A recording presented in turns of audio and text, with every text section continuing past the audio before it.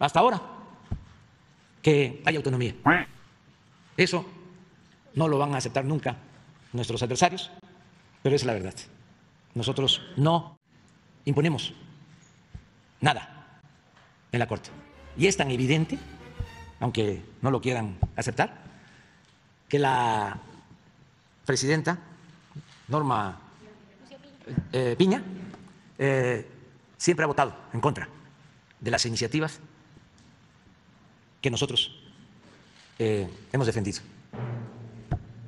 Es único el momento que estamos viviendo. Nadie puede decir que hay subordinación, como era antes, de los poderes al Ejecutivo. Durante décadas, el poder de los poderes era el Ejecutivo.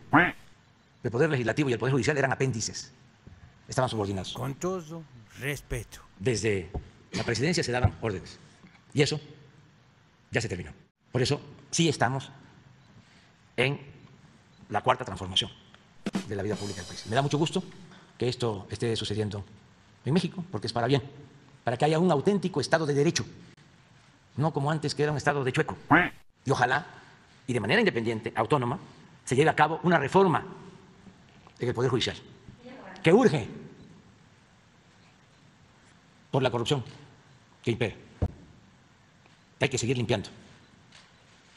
Todo el gobierno, los tres poderes, purificando la vida pública y que cada vez se respete más al pueblo, que las, las instituciones no estén al servicio de minorías rapaces, que no estén al servicio de la corrupción al servicio del dinero. Pero bueno, vamos avanzando.